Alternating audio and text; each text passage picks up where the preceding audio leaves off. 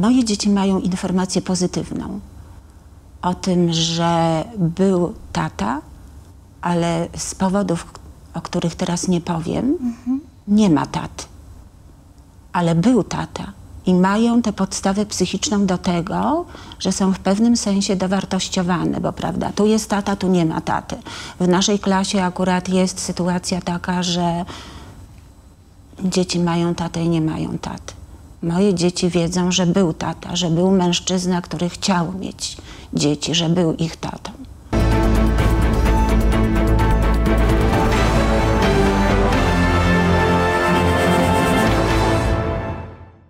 Dzień dobry, witam serdecznie w studiu Wieczornego Ekspresu. Państwa i moim gościem jest dzisiaj Barbara Sienkiewicz, aktorka, o której 8 lat temu mówiła cała Polska. Wszystko za sprawą, że w wieku 60 lat urodzi, urodziła bliźniaki Piotrusie i Anię. Dzień dobry Pani Barbaro. Dzień dobry Pani Monika, miło mi. Mnie również jest mi e, bardzo miło, przede wszystkim dlatego, e, że zgodziła się Pani przyjąć moje zaproszenie, tym bardziej, że przez e, 8 lat, jeśli się nie mylę, nie udzielała żadnego Pani wywiadu. Wiem, że dziennikarze dzwonili, prosili e, o rozmowę, a Pani kategorycznie e, odmawiała. Tak, były różne podteksty mojej decyzji. Na pewno em, po głównej fali, która wtedy nastąpiła i była bardzo drapieżna i rujnująca moją psychikę i jakby moje życie codzienne, a wycofałam się z tych tematów. Nie ukrywam, że to było nieludzkie w pewnym sensie, albo w dużym sensie. Ten hejt, który zaproponowali Polacy, nie wiem, chyba w bardzo dużej ilości. Dostałam propozycję y, nagrania filmu dokumentalnego z angielskiego Discovery. A, I poinformowano mnie, że decyzja została podjęta dlatego na fali hejtu, że ten hejt, który dotarł między innymi do Anglii, spowodował zainteresowanie. Ach, z takich czy innych powodów film nie doszedł do skutku, mimo że decyzja została podjęta przez e, Discovery ostateczna. I ja w ostatnim Nie momencie. liczyli się z Pani zdaniem? Liczyli się, tak, liczyli się z moim zdaniem. Pytali, czy została przydzielona pani reżyser do, do produkcji tego filmu. filmu. Ale em, może nie mogę mówić do końca jakby o podtekstach, dlaczego podjęłam o, ostateczną decyzję, że w tym momencie film, dokument nie będzie nagrywany. Teraz, po tylu latach, może bym się zdecydowała, ale nie wtedy. Za duży nacisk, za duże podteksty, za dużo bólu, a poza tym małe dzieci. Czyli dzieci potrzebowały pewnego rodzaju troski i mojej opieki. Nie wiem, jakbym sobie dała radę na planie. Scenariusz był trudny, było bardzo dużo wyjazdów. Miałam jechać do pani mamy, która urodziła w bardzo późnym wieku też dziecko do Berlina, do Rumunii, do pani, która też urodziła w bardzo późnym wieku, do Gdańska. Tam ach, jest jakaś klinika, która pomaga paniom w późnym wieku zostać mamą. No i tyle. Nie wiem, żałuję, nie żałuję, czasami żałuję. Może warto było, a może nie. No ale to już historia i temat zamknięty. A dzisiaj by się Pani zgodziła, bo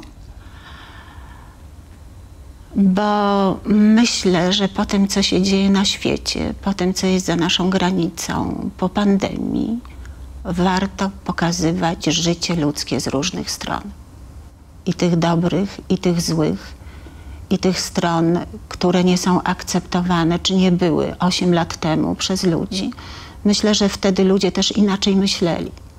Że ten a, jakby spojrzenie na inną stronę życia teraz, jak trwa wojna, jak praktycznie myślę, że w większości światopogląd ludzi zmienił się w pewnym sensie. Wydaje mi się, że teraz chyba jest najważniejsze życie ludzkie, życie, że im więcej tego życia na świecie, tym będzie lepiej. Nie niszczenie życia, nie krytykowanie, że ktoś daje życie w takim wieku czy innym, ale jest to życie. I nie wiadomo, co życie dla ludzkości moich dzieci kiedyś przyniesie. Ile dobra. Nie niszczmy tego.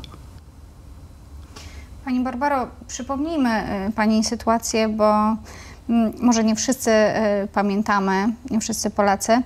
Mm, To było 8 lat temu, kiedy pan Olgierd Łukaszewicz, który wtedy był y, prezesem y, Zespół Związków Artystów Scen Polskich, y, poprosił w Pani imieniu o pomoc. E, Pani wtedy była jeszcze osobą, mm, jakby pani mm, nazwisko nie było ujawnione. E, Dopiero później e, okazało się, że e, zdecydowała pani o tym, żeby e, pokazać swoją twarz i powiedzieć, To kim nie ja. pani jest. To ja, jak to wyglądało? A właśnie, ja podpisałam w gabinecie u pana prezesa Łukaszewicza zgodę na pełną anonimowość. Że owszem, że y, temat zostanie podany do publicznej wiadomości, ale moje nazwisko będzie całkowicie ukryte, że nie będzie wiadomo o kogo chodziło. Y, pierwszy wywiad, y, który zaproponował pan Olgierd, to była Gazeta Prawna i pani dziennikarka Riga Monti. A przez wywiad był telefoniczny. Pani nie wiedziała, z kim rozmawia. A niestety z tego, co się dowiedziałam, chyba poszedł w złym kierunku, nie w dobrym. A potem były jakieś pytania, dostawałam informacje, że ludzie są ciekawi, kim jest naprawdę ta osoba. I w pewnym momencie pan Łukaszewicz powiedział: Uważaj, mogę zacytować dokładnie. Uważaj, wydała cię usłużna koleżanka. Za chwilę cytuję słowa, przepraszam. Dopadnie cię Super Express.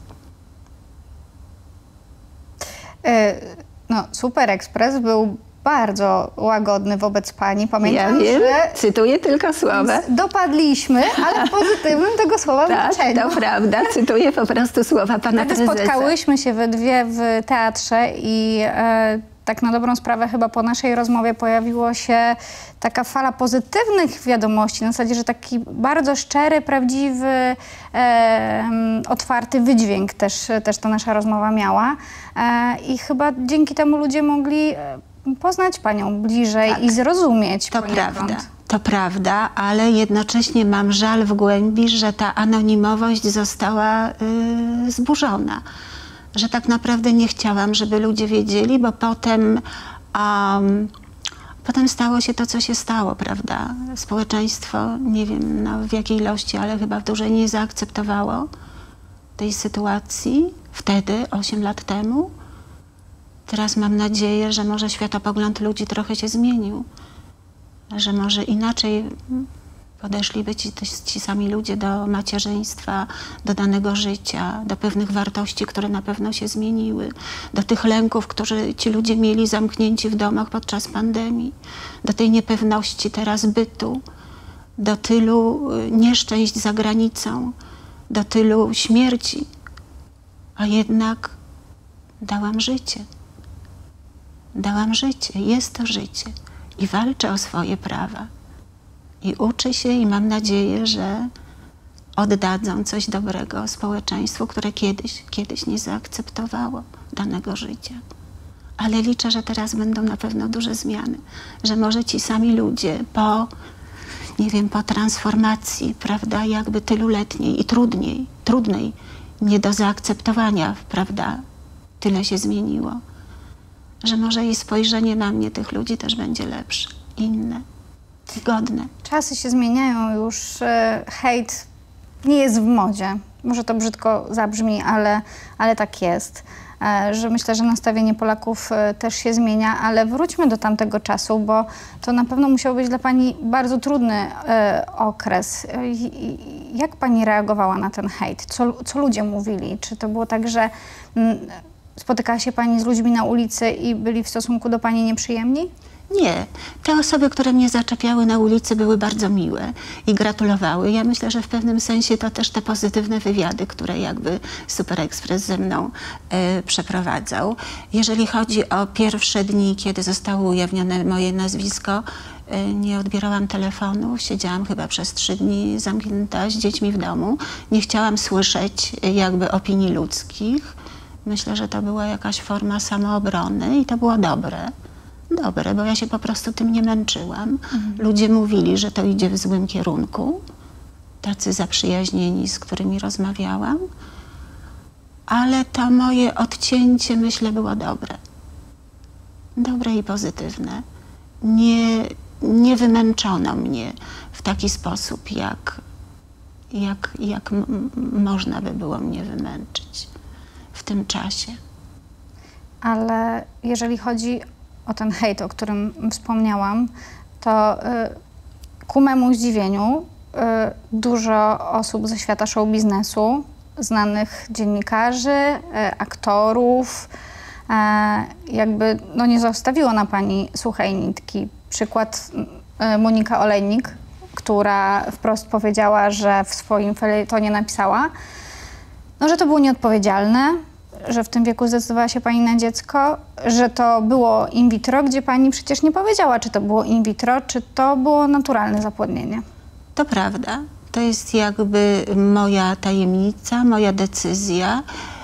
Nie wiem, dlaczego pani Monika Oni- Olejnik zajęła takie stanowisko, ale myślę, że gdyby teraz zobaczyła już prawie dziewięcioletnie bliźnięta, jakie są, jakie mądre, jakie ładne, jakie kochające życie, to mam nadzieję, żeby zmieniła zdanie. Mam nadzieję, y, pełną nadzieję, że inaczej by spojrzała. A poza tym y, moment porodu, kiedy dzieci przyszły na świat, było powiększone grono pani przyjmujących, bo to były bliźnięta i zachwyt najpierw nad A i reakcja. Jakie piękne dzieci. Rzeczywiście to były piękne dzieci. Powiedziały 10 punktów.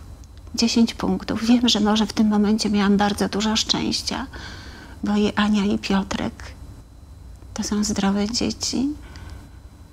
I nie wiem, może kiedyś przyjdzie moment, że będę mogła porozmawiać z panią Moniką Olejnik i wyjaśnić jej, jakie może nie tyle um, chęć bycia mamą nieraz jest tak silna, że po prostu pokonuje wszystkie bariery.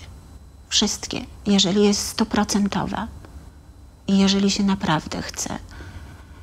I myślę, że może pani Olejnik troszeczkę by inaczej na nas spojrzała, e, widząc dzieci, widząc mnie po tylu latach, bo w listopadzie dzieci skończą 9 lat. I może jednocześnie byłaby dumna z tego, że są na świecie. Mam nadzieję. Jeżeli już mówimy o tej chęci e, bycia mamą, to kiedy pani poczuła, że pani jest gotowa, że pani chce dziecko? Pierwszy moment to była rozmowa z moim lekarzem, który powiedział: Pani ma a, młody wiek biologiczny. Bardzo młody. Zdziwiłam się akurat skąd takie, prawda? I to na tyle zostało głęboko gdzieś w mojej psychice, że wiedziałam i czułam, Że ma pani jeszcze czas. tak, ja, ja to czułam w stu procentach. W stu procentach, że dam radę. Gdybym tego nie czuła, na pewno bym nie realizowała do końca swojej decyzji i chęci. I tak się stało. Wbrew jakby, jak to powiedzieć, wbrew wiedzy niektórych lekarzy ginekologów, a może tak bym to powiedziała. Bo też lekarze się wypowiadali na temat. E, Tak, z tego decyzji. co pamiętam, to tak, ale wydaje mi się, że po latach niektórzy ludzie chyba dojrzeli. Mam nadzieję. Dojrzeli do zmian. no, sytuacja wygląda tak, że jeszcze kilka lat temu kobiety, które miały 40 lat, zachodziły w ciąży, to kiedyś to budziło kontrowersje. Dzisiaj jest to normą. Więc być może za kilka lat e, też przecież medycyna się zmienia. Może inne kobiety w pani wieku też będą mogły zajść w ciążę. No bo nie, nie ukrywajmy, biologicznie jest to trudne. Żeby kobieta w tym wieku zazwyczaj jest już po menopauzie i nie jest jej dane już e, być mamą. Mnie zostało to dane. Ktoś z kręgów jakby yy, innych, nie powiem, powiedział, że widocznie tak miało być odgórnie.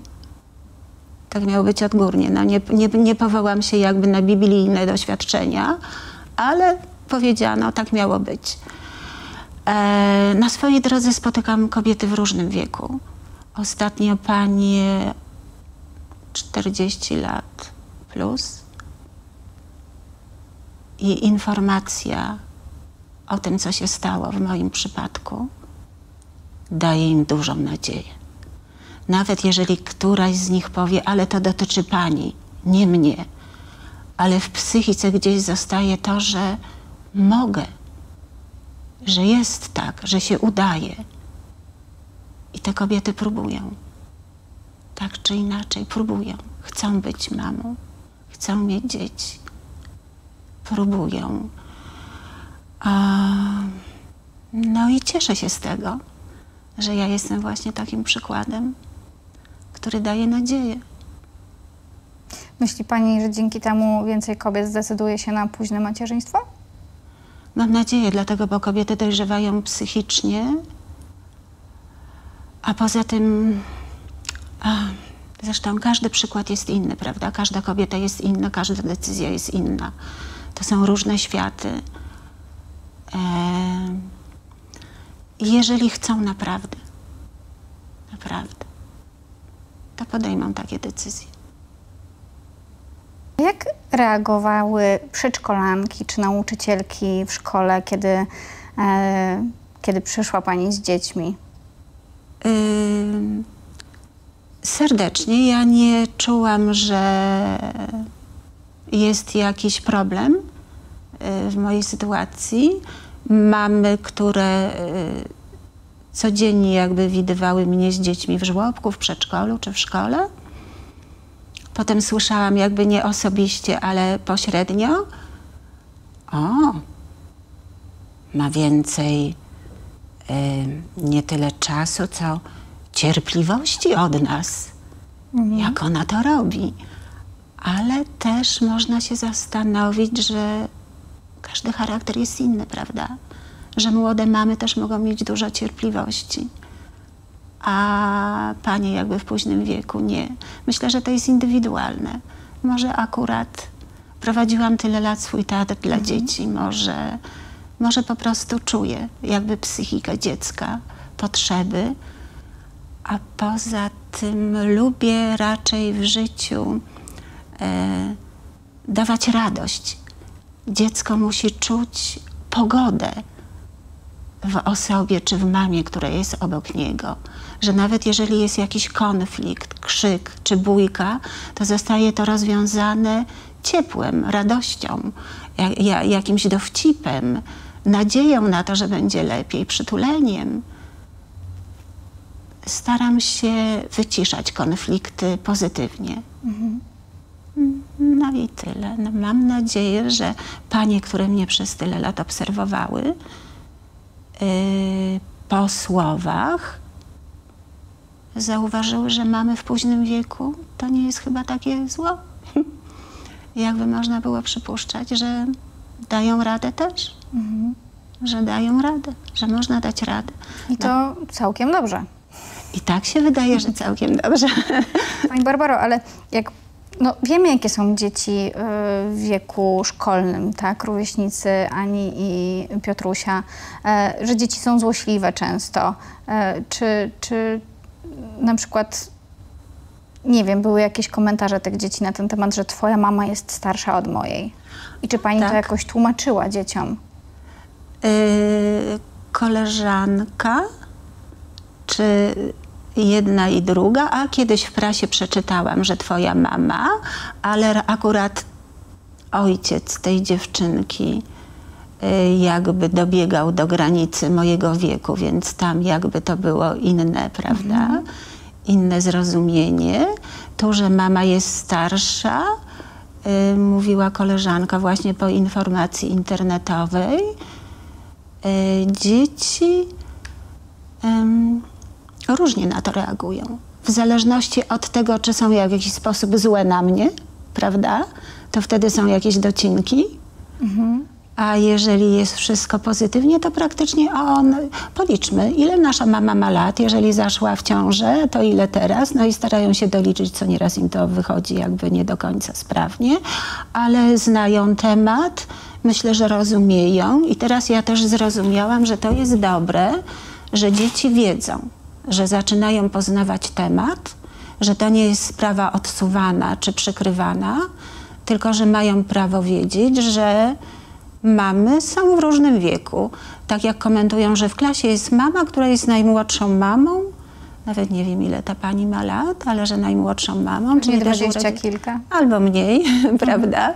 Czyli jakby te różnorodności życia społecznego wydają się, czy powinny być podawane, tłumaczone, że to nie jest jakby społeczeństwo, które tak jak pani wspomniała, mamy 40-letnie, to, to coś strasznego, jak można. Że to jest jakaś barwa życia. I wydaje się, że no, tak musi być, czy tak jest, bo rodzą bardzo młode mamy. No i okazuje się, że są mamy, które rzeczywiście dają życie w bardzo późnym wieku. I może ludzie zaczynają, czy zaczną rozumieć i patrzeć na to pozytywnie. Tym, tym bardziej, że tak jak mówię, Biblia też pokazuje, że były mamy, które dały życie w późnym wieku. Tak. Dzieci w tym wieku zadają trudne pytania. E, czy pytały na przykład od swojego tatę, jak to się stało, że inne dzieci mają tatę, a, a one na przykład nie? I co pani im wtedy mówi? To znaczy, to nie było nawet, a co z tatą, dlaczego i tak dalej. A moje dzieci mają informację pozytywną o tym, że był tata, ale z powodów, o których teraz nie powiem, nie ma taty. Ale był tata. I mają tę podstawę psychiczną do tego, że są w pewnym sensie dowartościowane, bo prawda, tu jest tata, tu nie ma taty.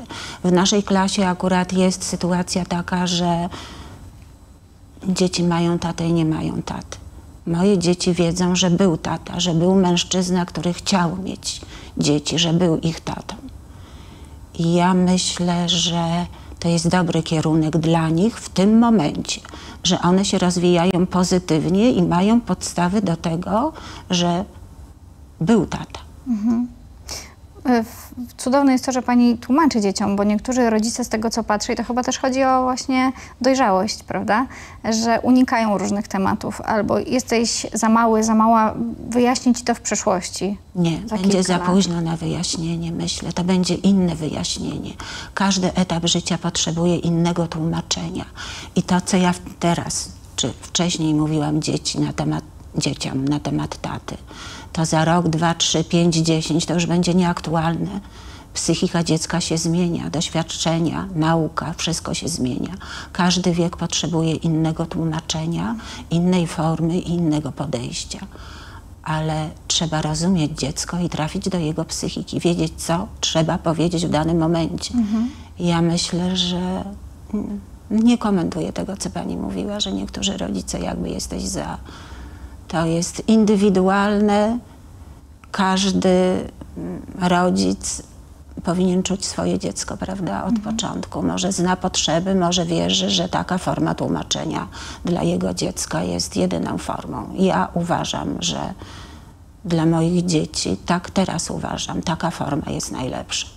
Jak pani sobie w ogóle radziła przez te e, no, pierwsze miesiące, potem lata? No bo wiadomo, że bez e, męża, partnera, ojca e, i jeszcze z mamą w mieszkaniu, która wymaga e, opieki, no musiało być pani bardzo ciężko. Myślę, że praca zawodowa moja, która była oparta na natychmiastowej decyzji, na szybkim tempie życia, na doskonałej organizacji od początku do końca, na sprawności fizycznej mojej, psychicznej i fizycznej, że to zaowocowało w tym momencie. Ja potrafiłam podjąć konkretne decyzje w danym momencie, potrafić je wcielić w życie, nawet z tym, żeby zapraszać do swojego domu panie z Ukrainy które musiałam mieć. Panie pochane i niepochane, dziękuję.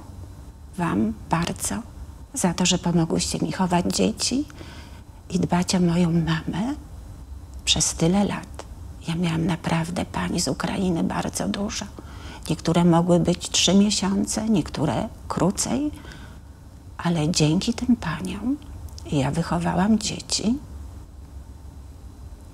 i mama też była, to jest brzydkie słowo, zaopiekowana, nie lubię tego słowa. Nie wiem, była zadbana. O, tak, tak można powiedzieć. E, czyli jeszcze raz, sprawna organizacja, dobre decyzje, bo 8 lat temu ja w ogóle nawet nie wiedziałam, gdzie ja mam szukać takich pań. Teraz jest zupełnie inna sytuacja, prawda? Tak.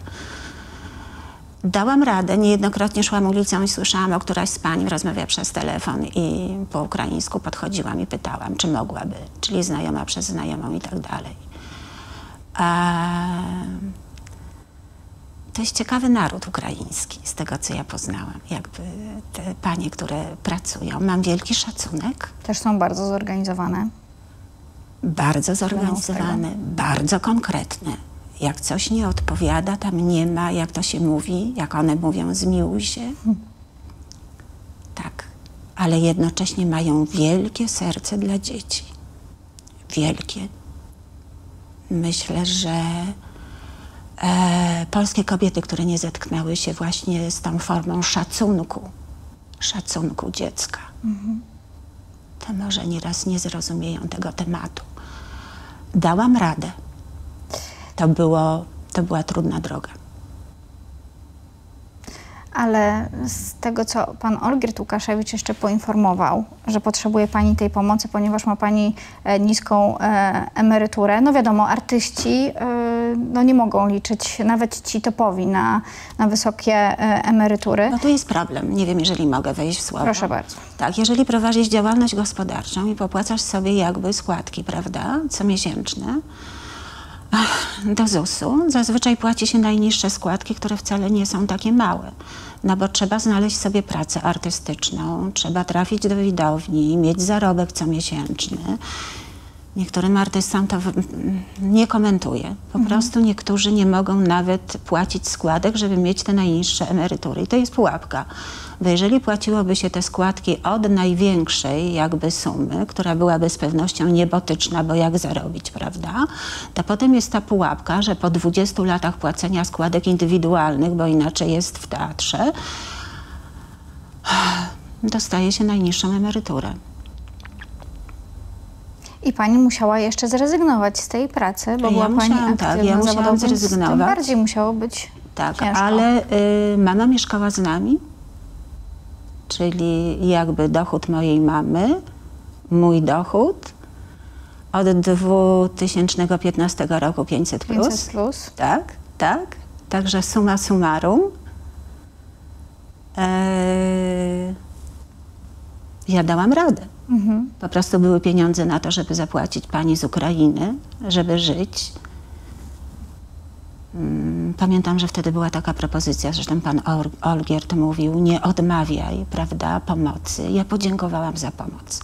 Ja nie chciałam w tym momencie od ludzi, którzy nie szanowali mnie jako matki, prawda? Nie. Dziękuję za pomoc. No ale no, nie wszyscy przecież pani nie szanowali. Byli A to ludzie, jest piękne. chcieli wspierać. Tak, dziękuję i miałam naprawdę grono, e, grono ludzi, którzy potrafili pomagać mi w sposób, który nie był, jak to powiedzieć, poniżający w ten sposób. Nie wiem, czy mogą paść nazwiska, może nie, bo nie pytałam ludzi, tych, którzy akurat właśnie w ten sposób pomagali ale rzetelne, sprawdzone grono z różnych środowisk. Między innymi fundacja y, ZASP-u, prawda? tak, tak, to prawda. Pomogła. Tak, tak, pomogła, a poza tym byłam też z dziećmi, z mamą w domu aktora w Skolimowie. Dwa razy, dziękuję bardzo. To był bardzo dobry czas. Piękne miejsce, robiłam tam program Gwiazdy w Skolimowie, więc serdecznie polecam tym, którzy nie Tak. widzieli, wywiady z artystami, którzy tam mieszkają. Cudowne miejsce, fantas- fantastyczni ludzie, więc e, to był na pewno e, fajnie spędzony czas. Tak, tak, bardzo dziękuję. Dzieci do, do, do tej pory pytają, kiedy pojedziemy do Skolimowa. Tam jest tak pięknie, tak im było dobrze. Te śniadania, mm, mm, wszystko. Dziękujemy bardzo. Byliśmy w Skolimowie. Ale jeszcze tak jak pani mówi o tym, że nie potrzebowała pani pomocy tych, którzy jakby nie mieli względem pani szacunku. Jakie słowa, które zabolały najbardziej? Takie, które zapadły pani w pamięć? Nie słowa, y, po prostu ilość tych hejtów. Ta masa taka. I ciągle w uszach mam um, te informacje z tej stacji Discovery, że na fali nagonki robimy z panią film dokumentalny. Na fali nagonki, która dotarła do nas.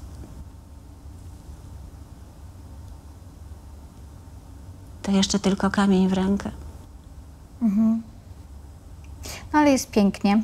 Dzieci się rozwijają cudnie. Z tego co ja wiem, to idą w kierunku artystycznym, czyli w pani kierunku. Trochę Może próbujemy. pani coś zdradzić?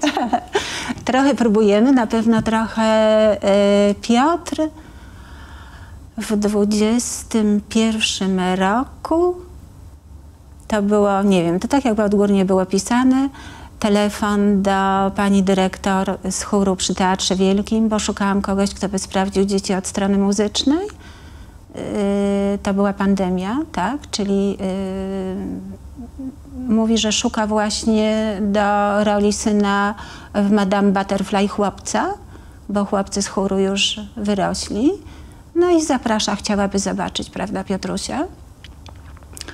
Byliśmy, y, zaakceptowała, zaczęły się próby, tych prób było chyba sześć, a potem były dwa duże spektakle na dużej scenie Teatru Wielkiego z panią Aleksandrą Kurzak, która okazała się drugą cudowną mamą. Zresztą sama tak mówiła, siedziałyśmy na ławce w trakcie prób, już na dużej scenie. Pani Aleksandra Kurzak, Piotruś i ja. I zaproponowała, może zrobimy zdjęcia. Piotruś ma dwie mamy. Wyglądała przepięknie. Ja myślę sobie, ja byłam strasznie zmęczona. Strasznie. I teraz żałuję. Powinno być jednak to zdjęcie wtedy takie półprywatne. A, I dziękujemy za to, że Piotr dostał szansę, że zagrał dwa razy na dużej scenie. A, I tak jak powiedziała pani dyrektor, nie podaję nazwisk, bo nie wiem, czy, czy, czy, czy, czy te osoby jakby życzą sobie tego. A, powinien połknąć bakcyla. Bakcyla. No bardzo możliwe, bo chodzimy nadal jakby do chóru. Dzieci według słów rozwijają się, e, zaczęły e, uczyć się gry na pianinie. Ania trochę uczy się tańca. Ostatnio była oceniana przez y, panią, która stwierdziła, że ma idealne warunki fizyczne do tego, żeby tańczyć. Zero problemów, wszystko piękne, wszystko miękkie. Spróbujemy, zobaczymy jak dalej. Na razie próbuję, bo nie wiem w jakim kierunku to wszystko pójdzie. Piotr zdobył 15 miejsce w ogólnopolskim konkursie matematycznym. 15 miejsce w skale polskiej. Pięknie. Tak, także bardzo się cieszę i tak jakby powiedzieć od środka.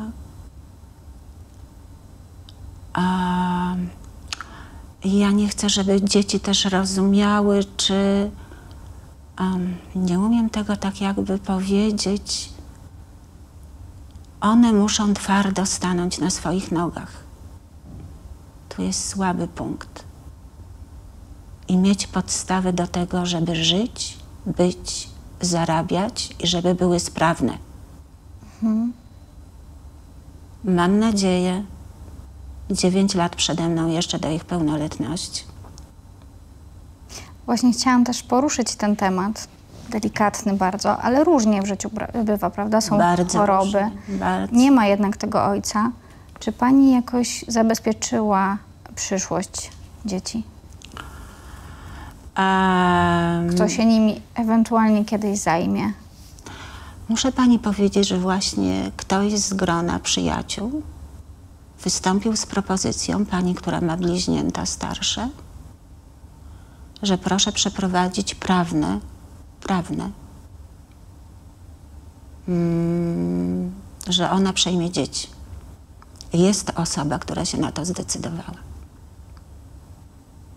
Czyli to Sama wysunęła tę propozycję. czyli aktem notarialnym podejrzewam, tak? Tak, można, ale i przez sąd rodzinny, tak. Czyli testament napisany i wymieniony, że za zgodą, za zgodą jest taka osoba. Proszę mi uwierzyć, twardo stąpam po ziemi. Widzę. To nie są moje urojenia, to jest twarda rzeczywistość. Nigdy nie wiadomo, co za chwilę. Nigdy.